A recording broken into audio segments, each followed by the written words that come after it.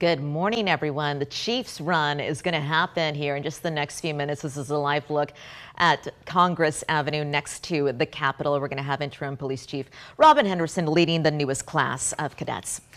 To your other news this morning, we now know the name of the man who died after an 18 wheeler crashed into a DPS building in Brenham last Friday. Six people hurt, including 78 year old Bobby Huff, who died at the hospital. The driver remains in jail facing multiple charges.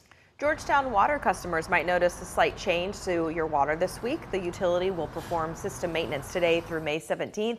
So you might smell some chlorine or see a green or brown tint to the water for a brief period.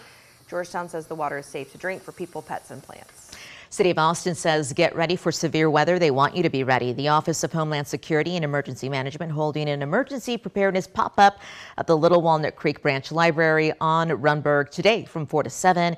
You're going to learn about preparing for severe weather, flooding, and all kinds of hazards. Yeah, and that's my job too. I'll tell you what, tomorrow we've got a severe risk. It's low, but in our northern and western counties, today is actually one of the drier days of the week. Just a few spots of drizzle this morning, isolated storm out west. Better chance of storms tomorrow. The main event still on track for Saturday.